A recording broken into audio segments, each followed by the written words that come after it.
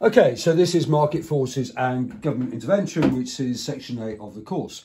Okay, so the price mechanism has four main functions. It is the allocative function, it has the uh, signalling function, incentive in function, and rationing in function from there. So whenever you talk about the price mechanism, you need to talk about all these different functions on here. So if prices rise because there's a shortage of the product, e.g. sand, then people will use less of it. The signalling function is that prices provide uh, important market signals to producers to produce more of that particular type of good. The incentive function, obviously, if prices go up, firms are going to make more profits. If they make more profits, then they'll move into that area. The allocative function is is putting uh, your resources into areas where they're going to have the most impact, where in fact price is equal to marginal cost as well.